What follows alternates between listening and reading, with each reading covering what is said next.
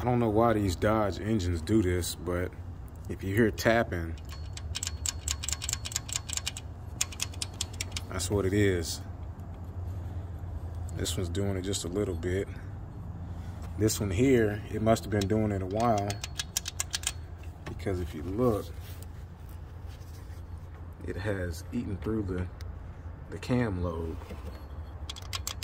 So I'm gonna have to replace this camshaft and I'm also probably going to have to replace this one because it is eating through that one as well. See, it's supposed to be flat all the way across, but this one is grooved because it's been it's been tapping for quite a while. There should be no play in it. Like this one here, you know, doesn't move. That one